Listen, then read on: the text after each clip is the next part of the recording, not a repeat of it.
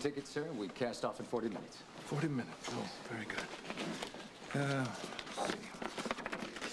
My ticket, my baggage claim. Ah, very good, Mr. Johnson. I'll see that your bags are stowed. Is Mrs. Johnson aboard? Uh, no, but I expect her closer to departure time. Yes, sir. Have a pleasant voyage. Thank you very much.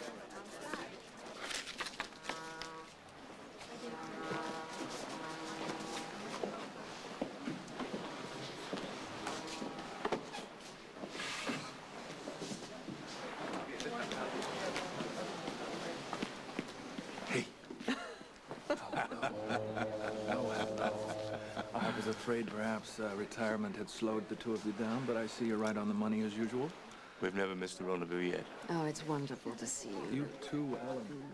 Wait, what, what names are you using this trip? Would you believe our real ones? Yes, we're out of the spy game. No secret identities required. Unless, of course, you want them for this job. What exactly are we supposed to do on this mission? We are going to show a great lady a good time.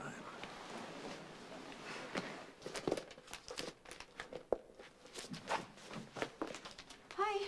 Oh, hey, thanks for coming. Is everything okay? Yeah, fine, fine. I just want to know, um, if I go away for, uh, well, a little mission with Luke, do you think you could stay with Lulu for a while? Uh, oh, what kind of mission? I don't know exactly. For how long? It's a few days, according to Luke. Um, okay, I'm, I'm a little confused.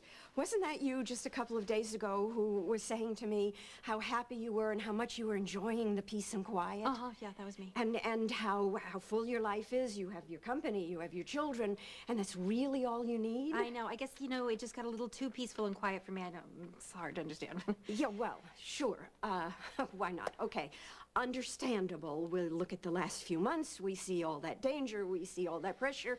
You probably just haven't given yourself enough time to, you know, kind of readjust. yeah, sure, that's part of it. Yeah, but, but, but, but, but, big important but. There's a big difference between, you know, wanting to spark up your life a little bit and going off on a mission with Luke. It's just that he said he really, really needed my help. Yeah, well, I I love Luke. You know, I love Luke, but I'm a little more concerned with what you need right now. You don't think I should go? I think we're way past the point where I get to tell you what to do. It's, it's not because of the danger, is it? No, no. Um, yeah, sure. No, well, not. It's not the physical danger. I'm really concerned about the risk you'd be taking with your heart. I, you'd be off on a mission with Luke, and, and you're probably visualizing um, romantic adventures like you used to have when it was just you and Luke and you were depending only upon each other. But this is now, and you've just separated your lives. I am aware all of that, Mother. And, and I don't want to see you setting yourself up for a huge disappointment. I don't want to see you get hurt. I'm sorry. Um, okay. Okay. Um, taking care of Lulu, we understand, not an issue, so. Uh, if you tell me that this is what you honestly feel is the very best thing for you, then I will support you on this. And if you tell me that what you really want is to just stay put and, and leave things as they are peacefully, then I'll be right there behind you on that. You're not helping me at all. Yeah, well, I could give you advice. I could, you know, try to make sure that you consider all of the consequences, but bottom line, baby, this is about you. What do you want?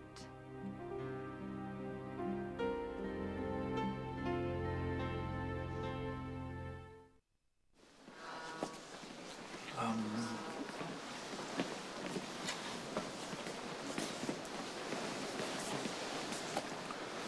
I so appreciate the two of you jumping in like this at the last moment. Well, you sent us tickets to a cruise. And offered an adventure. risk-free. How could we say no? But besides, we, we miss undercover ops. Not that we'd want to go back to it as a career, mind you. But a weekend caper here or there keeps things interesting. Right, Donnie? Hopefully the lady will feel the same way. I take it you're referring to your wife. What was her name?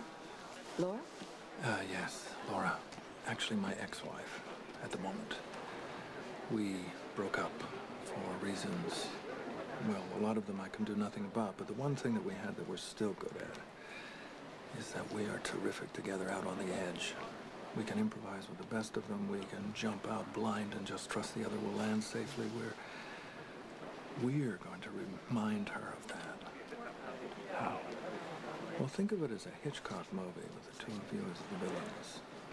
TVA? KGB? SIS? Perfect, whatever suits your fancy. Vince, you're the agent. You brought Ellen along as a cover. You're on this ship to pass off a stolen microchip to somebody. While you keep us under surveillance with the assistance of Laura.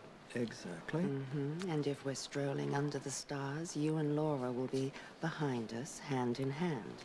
And if we're dancing, you'll be dancing next to us.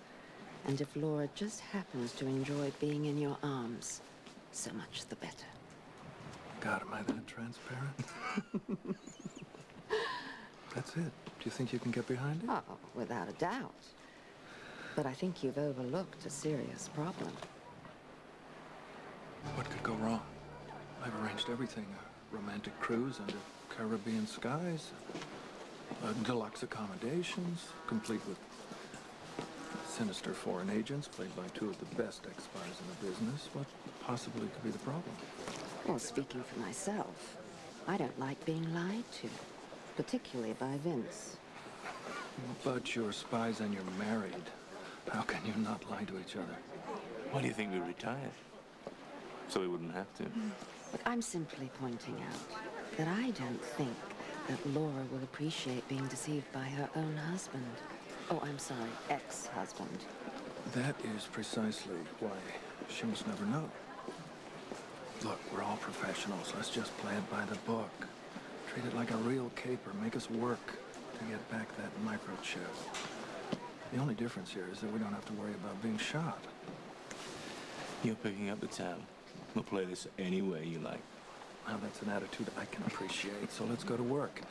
Make me believe you're about to sell out the free world. Our pleasure. Good luck, Luke. I hope it turns out the way you want. Me too.